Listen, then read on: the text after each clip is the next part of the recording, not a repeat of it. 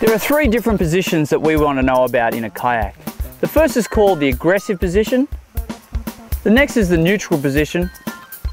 And when you lean back in a boat, that's called the defensive position. As our natural default position, we want to be sitting in a neutral to slightly aggressive position.